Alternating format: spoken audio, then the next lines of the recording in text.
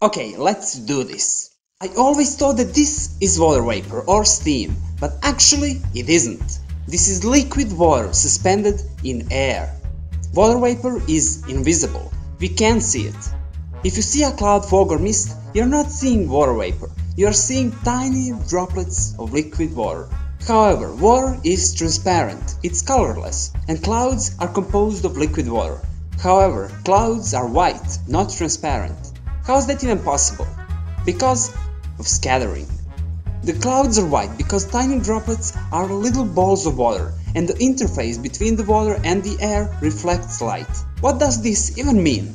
This is the same effect that lets you see your reflection in a still pool of water. However, if you disturb the water surface, it becomes harder for you to see your reflection. This is because the disturbances of the mirror-like water surface cause light to be reflected off at random angles instead of every beam following the ideal path. If you disturb the water enough, the reflection will be so diffuse or random that you won't be able to make out any images at all. There is light of many different wavelengths coming in and they all get reflected equally and randomly. Thus, when you look at any given point on the water surface, you will see light of many different wavelengths, which you will see as white. This explains white water like that found in waterfalls, river rapids and crashing waves. And clouds are white for the same reason.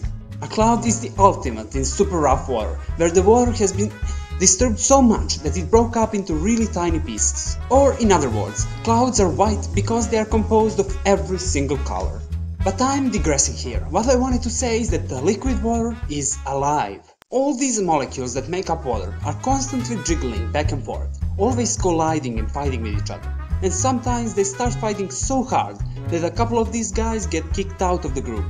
This is how evaporation works. When it's hot, they get nervous, everything pisses them off, and they fight even harder.